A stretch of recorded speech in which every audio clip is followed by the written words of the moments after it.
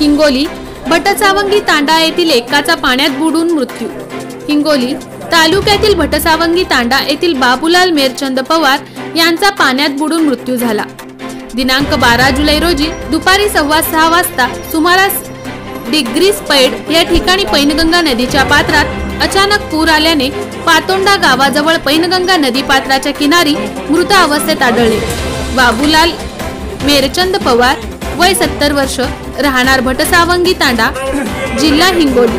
हे शेती कामासाठी आणलेले बैल वाघजाळी येथे पाहुण्याकडे सोडण्यासाठी जात असताना दिग्रज पैड या ठिकाणी पैनगंगीच्या नदीत नदीच्या पात्रात अचानक पूर आल्याने त्या पुरात वाहून जाऊन दिनांक बारा जुलै दोन हजार एकवीस रोजी सकाळी सव्वा सहाच्या सुमारास पातोंडा गावाजवळ पैनगंगा नदीपात्राच्या किनारी पाण्यात बुडून मरण पावले आहेत. त्यांचे नातेवाईक संतप्त भावना होत्या. पेशंट येऊन सुद्धा डॉक्टर वेळेवर दवाखान्यामध्ये येत नाहीत. एक ते दीड तासाने डॉक्टर दवाखान्यामध्ये उशिराने येतात.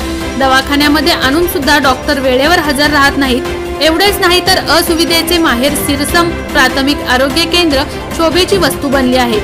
शिरसम बुद्रुक येथील प्राध्यापक केंद्र सोयी सुविधा नाहीत. संतप्त रुग्णांच्या नातेवाईकांनी तीव्र संताप व्यक्त केला व डॉक्टर कॅटेजला राहत नाहीत.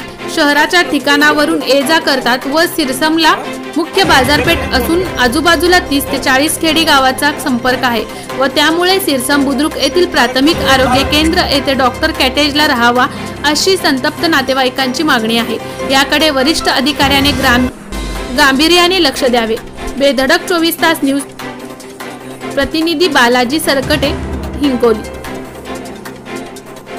डॉक्टर असो या कंपाऊंडर असो त्याला निलंबित करावी अशी आमच्या भटसंग तांडाची इथं इथं विनंती आहे.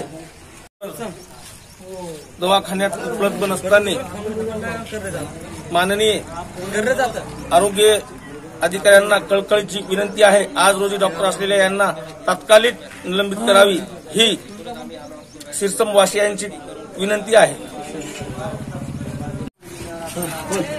प्रवीण रामदान राठोड. मुक्काम पोस्ट भटसाम तांडा तालुका जिल्हा हिंगोली. आज रोजी शिरसम पीएसी येथे सायंकाळी सात वाजल्यापासून तर सुमारे दोन ते अडीच तास उलटून गेल्याच्यानंतर बी इथे डॉक्टर किंवा कोणताही कर्मचारी उपलब्ध नसताना संतापजनक पब्लिक आणि त्यांचं कुटुंब हातबल झाल्यामुळे आज रोजी कळकळीची विनंती आहे की आम्हाला निवासी डॉक्टर शिरसम पीएसी येथे उपलब्ध करून द्यावी ही विनंती.